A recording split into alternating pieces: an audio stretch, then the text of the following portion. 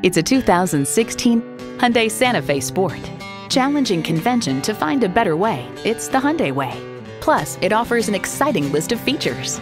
Automatic transmission, heated and ventilated leather bucket seats, streaming audio, rear parking sensors, dual zone climate control, power heated mirrors, external memory control, hands-free liftgate, doors and push-button start proximity key, and i4 engine.